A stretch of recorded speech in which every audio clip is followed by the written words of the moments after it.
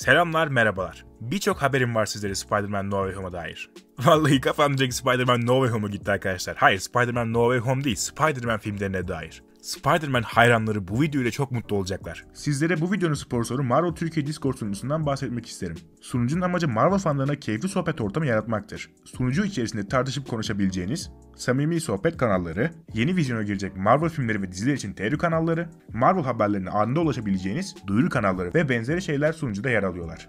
Ayrıca sunucu içerisinde birçok Discord Nitro ve bunun gibi bazı çekilişler yapılmakta. Sunucuya katılmak isteyen kişiler açıklama kısmına bıraktığım linkten katılabilirler. Şimdi vallahi nereden başlasam bilmiyorum elimde birçok haber var. Öncelikle Andrew Garfield'dan başlayalım. Andrew Garfield sağ olsun bizlere bayağı bir haber sunuyor. Resmen alın YouTuber kardeşlerim sizlere bir sürü video çekebilecek içerik çıkarttım demeye getiriyor. Öncelikle şundan bahsetmek istiyorum. Andrew Garfield isimli oyuncumuz Google'da Morbius filminin oyuncu kadrosuna eklendi. Yahu Ferhat Google'a güven olmaz. Oraya herkes kendini ekleyebilir falan diyebilirsiniz. Ben de öyle düşünüyordum fakat öyle olmayabilir. Çünkü bugüne kadar Spider-Man No Way Home filminin kadrosunda Andrew ve Tobey yer alıyordu. Daha sonrasında filmde kendilerini gördük. Bu yüzden ben Google'a biraz da olsa güvenmek istiyorum. Güvenmeseniz bile haberiniz olsun arkadaşlar. Andrew Garfield, Morbius'un oyuncu kadrosunda listelendi. Kendisini filmde görme ihtimalimiz biraz daha arttı diye düşünüyorum. Bunun dışında Andrew Garfield'ın söylediği güzel bir şey var. Sevgili Andrew Garfield dedi ki Venom ile kapışmak için Spider-Man'in geri dönmesi fikri bence bayağı mantıklı. Bu beni memnun eder tarzında şeyler söyledi. Adam resmen benim Spider-Man'im zaten geri döndü de bir de Venom'la kapışması kalmış gibi konuşuyor. Yani buradan The Amazing Spider-Man 3 için umut ışığı yaktığını söyleyebiliriz arkadaşlar. Yeni bir Spider-Man filmi geldiğinde Andrew Venom ile kapışacakmış. Bence sadece Venom ile kapışmak yerine Sinister Six ile kapışacaktır zaten. Neyse bunları birçok kez konuştuk. Devam edelim haberlerimize. Andrew Garfield geçenlerde bir röportaj verdi ve bu röportajda çok tatlı bir şeyden bahsetti. Andrew Garfield, Spider-Man No Way Home'da olacağını bizlerden çok güzel bir şekilde gizlemişti. Daha doğrusu bazılarımız anlamıştık ama bazılarımız anlayamamıştık tabi. Andrew Garfield ona Emma Stone'un dahi Spider-Man No Way Home filmde yer alıp yer almadığını sorduğunu söyledi. Emma Andrew'a sormuş. Filmde var mısın tarzında. Andrew ise hayır yokum diyerek reddetmiş. Emma'dan bile gizlemeye çalıştığım tarzında şeyler söyledi. Spider-Man No Way Home filmi çıktıktan sonra Emma Stone Andrew'u Spider-Man No Way Home'da gördükten sonra Andrew'a pisliğin tekisin demiş.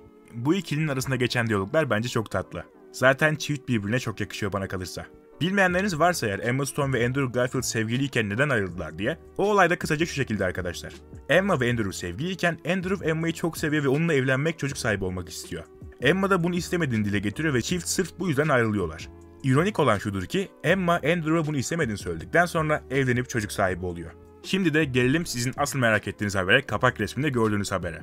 Andrew Garfield verdiği röportajların arasında şöyle bir şey de söyledi. Toby ve Tom ile birlikte çalışmaya devam etmeyi çok isterim. Bence aralarındaki 3 erkek kardeş dinamiği çok ilgi çekiciydi. Filmi çekerken çok keyif aldım tarzında şeyler söyledi. Spider-Man No Way Home'un çıkmasına daha bir yıl kalmışken gündemde bazı güvenilir kaynakların yaydığı bir söylenti vardı. Bu da Spider-Man No Way Home filminden sonra ayrı bir Spider-Verse filminin gelme olayıydı. Andrew Garfield da sanki ona gönderme yapmış gibi duruyor. Elbette bu bir şey kesinleştirmez, bir haber olarak sayılmaz belki de. Ama bence bu ufak bir ipucu olabilir diye düşünüyorum.